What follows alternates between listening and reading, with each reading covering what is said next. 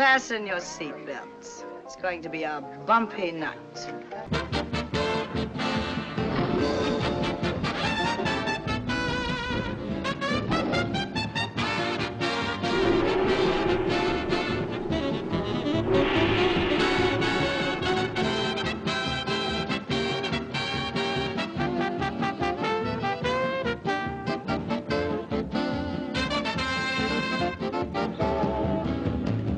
Live from Las Vegas, it's time for you to be talking movies with America's most award winning film critic, John Barbour.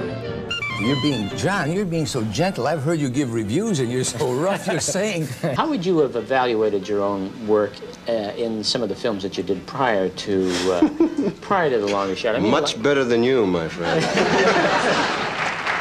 Our next guest is one of those rare talents who has something to say and can say it funny. He's a writer performer on the new Laugh In and one of the most popular, outspoken, and entertaining personalities on the local news here in Los Angeles. He's won a half a dozen Emmys as a film critic and host of his own shows. Let's welcome Mr. John Barbour, right over there.